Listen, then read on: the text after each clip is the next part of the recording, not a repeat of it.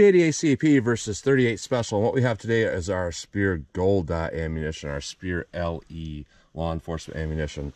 And I'm going to test this stuff and see what we get for a ballistics gel performance. So our 380 ACP is a 90 grain rated at 1,040 feet per second through a 3.75 inch barrel. This happens to be a 3.68 inch barrel, very close. Our um, Smith & Wesson Shield EZ and 380 ACP, and I'm going to compare that to our 38 Special. It happens to be a plus P 125 grain, rated at 945 feet per second. I could not find a barrel length listed for that, but I'm going to test it through my 3-inch barrel here, our Taurus 856, to see what kind of performance we get. So I'm going to go through the chronograph, see what kind of velocity and accuracy I get at the same time. Then I'm going to do my 10% clear ballistic test. So I'm just going to shoot into plain clear ballistics to see what our best potential is of those cartridges and see what kind of performance we get. And after that, I'm going to do something that's more of a real world simulation where I have four layers of denim on the front of this gel block, three inches of clear ballistics, and then a quarter inch medium density fiberboard to represent hitting ribs or sternum. And that'll be more of our real world simulation to see how this ammunition really performs. And then I'm going to shoot up my steel silhouette and see what kind of practical accuracy we can get. So let's get started with this test. All right, I'm about five yards from the target, four yards from the chronograph. First up, we have our 380 ACP rated at 1,040 feet per second. See how close we get to that in my Shield EZ here. 1,000. No read. 991. 985, 991, 977. So below rated velocity, you know, the barrel length was a little bit shorter um, than their test barrel, but not by enough to make that much of a difference. So we are just a little bit below rated velocity. 38 special, rated at 945 feet per second with no barrel length tested. Let's see what we get in my three inch Taurus here. 972, 992, 1003, 989, 998. Let me run one more. 978. So we're above rated velocity even in a three inch barrel, which is interesting. Set our ballistics gel block with these and see what we get. All right, let's see what our best potential is of these cartridges. No denim or anything like that. Here's our 380 ACP.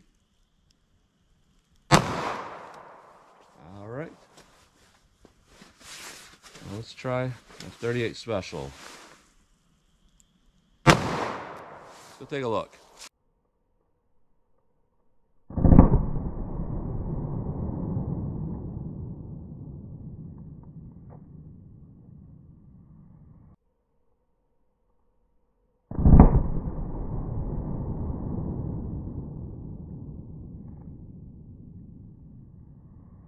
All right, so it looks like we got pretty good expansion with both of them from what I can tell.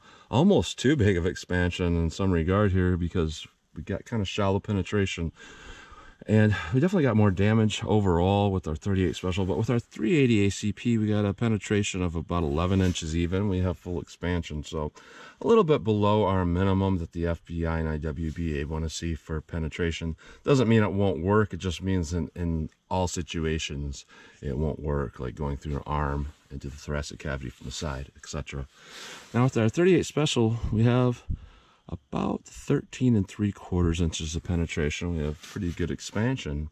So that did meet that, that minimum there. So that doesn't necessarily mean everything because, you know, in the real world, people are generally always wearing clothing and they have bone. That, that really changes what the bullet will do for its expansion, which changes its penetration, and that matters. So let's put in our MDF and our denim and see how they compare that way. All right, denim and a quarter inch medium density fiberboard. See how our 380 does. All right, let me try the 38 special now. All right, 38 special. see how this compares. Let's go take a look.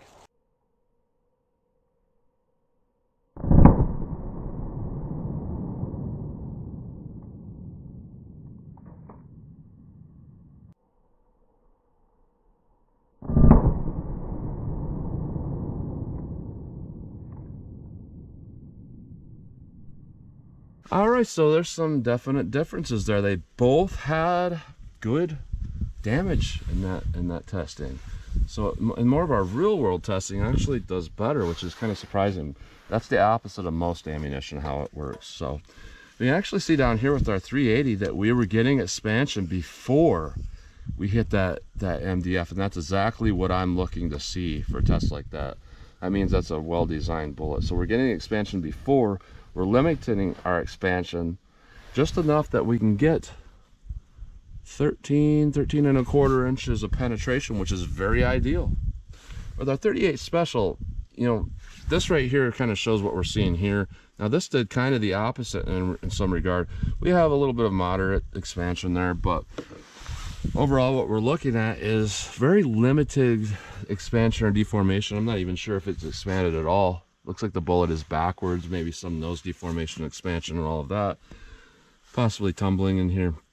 But what we're looking at is 16 inches of penetration. So I would say judging by the damage and judging by the penetration, when it comes to our MDF shot and our denim and everything, both of these are pretty equal. They're just doing it in a little bit different way because one has a little more expansion. The other one's not so much expanded and possibly tumbled.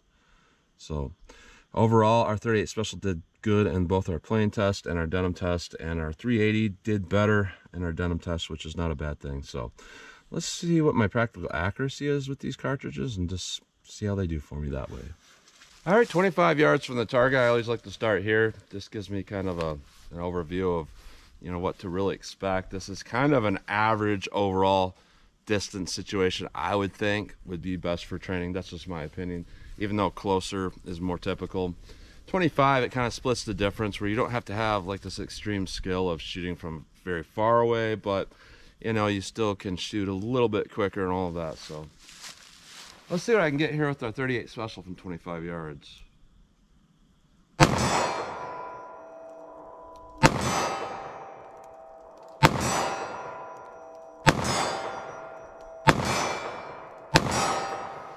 Group's okay, but it is drifting a little bit to the left for me, but that is just my gun. I've known that situation since I had it.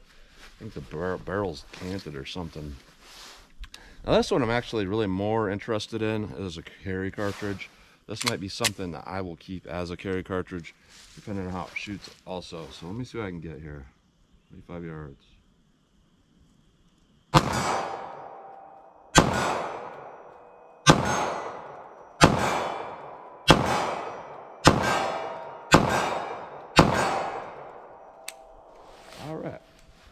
May have pulled a few, but you know, the ones that I was definitely taking a little more time on were definitely hit, hitting center. So those look like they're doing really, really well for me. I'm really liking this cartridge. It, it just has that feeling. I don't know how to explain it, but a lot of you guys will know what I'm feeling. What, what I'm saying is that you can feel the consistency within it. It has the same recoil. It has just a little bit of snap to it. It's not mushy. It just feels right. So let me back it up a little bit and see if I can keep hitting with these cartridges. All right, 75 yards from the target. a lot of times I make shots at this distance and it'll actually hit to a certain place and I'll call it and it'll look completely the opposite on that downrange camera. One thing you can definitely notice a difference on, you'll know what I'm talking about, is in the real world, I'm looking at my cam at my target down there. And I would say the top of the target up to the top of the hill is about 30 feet. But if you look at it on my uh, downrange camera, it looks like the top of the target's touching the top of the hill. And it does the same thing when when it's shooting right or to the left. There's like a tree to the left. It's in reality it's about 10 feet away, but on the secondary camera it looks like it's like three feet away. So a lot of times the camera picks up from below and there'll be a shot that'll impact, let's say right, it'll actually look like it's hitting to the left on that downrange camera. So I just wanted to mention that because you know, I'm thinking when I watch through editing, I'm like, man, people must think I'm crazy. But when I call something where it hits, if I miss, I'm calling it correctly. I just wanted to make that point. So I do know that this Taurus shoots a little bit to the left. So I'm going to try to aim a little bit to the right on the target, not off the target, but just like on the very edge and see if I can make any hits with this. See what I can do. Yeah, see I aimed um, touching the edge. So it, it impacted about, I don't know, maybe 14 inches over to the left.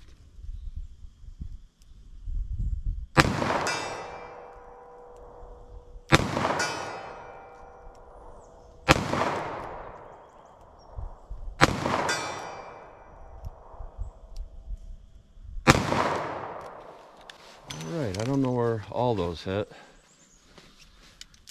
Run some more.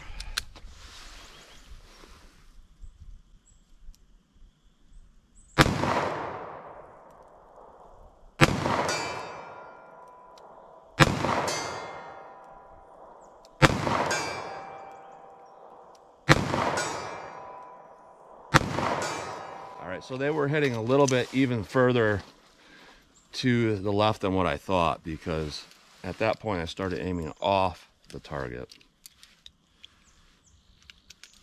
And that's far away for my eyes. So, let me keep going, a few more.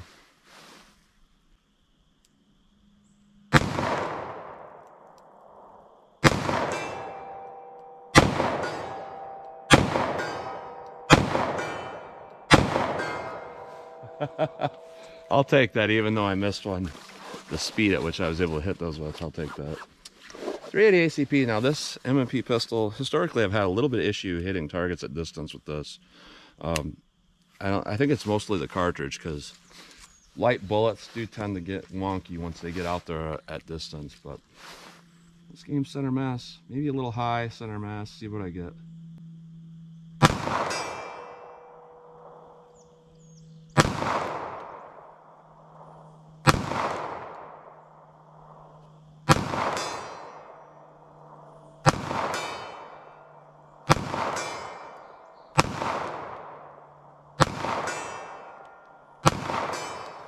So I did pull one to the left, but the majority of those hits I was aiming at the head on that target. I felt like that was where I really needed to hold. So let me keep holding there.